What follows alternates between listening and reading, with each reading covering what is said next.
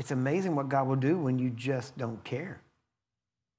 And all you do care about is the gospel and people and seeing them live it out. It's man, He will do things through you that you, later you get to look back and go, wow.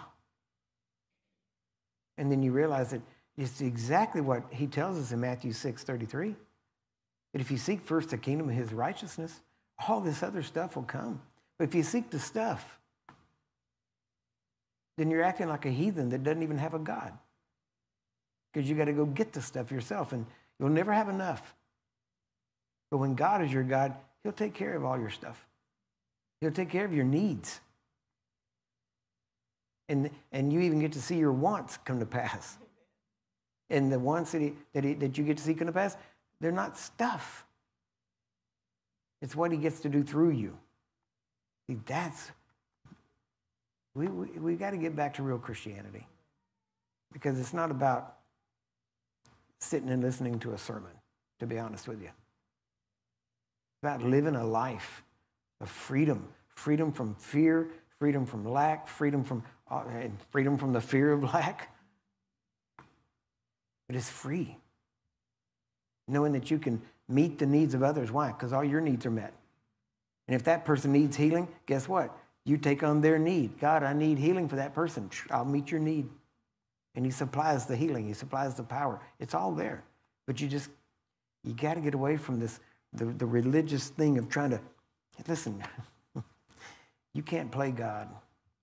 What I mean by that is, He knows your plans. He knows if you're faking it. He knows if you're playing Him. You know what I mean? Uh, it's amazing. You talk to people on the street sometimes that are, you know, con artists. And, and it's funny because you look at, and God will tell you that they're playing you, and you know they're playing you. You know, and, and but they got a good spiel. I mean, they've worked it out and it's worked, and, and you're listening to them, and you're kind of, yes, wow, you've, you've spent some time on this story. You know, you just kind of, and, and like I said, listen, I'm, I'm gonna I'm gonna give you. You don't don't I don't you don't have to play me. I'm gonna help you. Just because you ask, I'm going to help you. Because, and then I tell him because God told me to give to any man that asks. So I'm, I'm going to give you something. But it's not because I, you gave me a better story. It's just because you ask. And then they kind of don't know whether to run or what, you know, because they, don't want to run before you give them something. You know, so they're kind of like, okay, go ahead, you know, help. But you can't, you can't play God either. He knows. You know? And if, you, if you're going to worship because you want something, it's not worship. It's not worship. It's only worship when you come to give something. And in the giving, guess what? You can't outgive God. But you don't give to get from God. Amen? You, maybe you give because you got, but you don't give to get. Does that make sense? Now, listen, I believe sowing and reaping. I know all that's true. But I'm saying when you're worshiping God, come on, let it be pure. Let it be but what He is. Amen? Not about, oh, God, you make me feel good. See, that's what a lot of our worship goes to. I'm going to worship until I feel good. That ain't worship. You know, you, you may be standing somewhere where, you know, we would say God's rain is falling, but it ain't worship. You know, that's the amazing thing with God.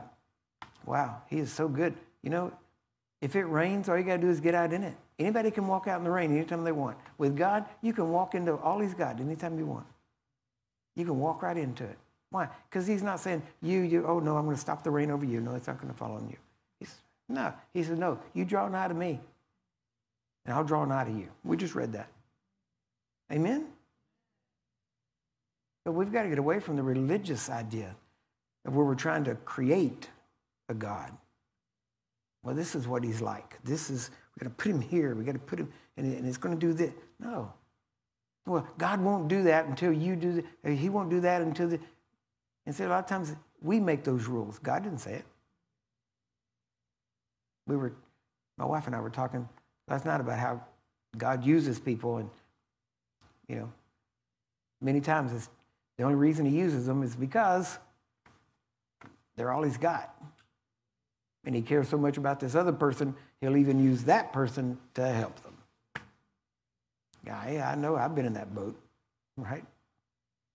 but he loves people.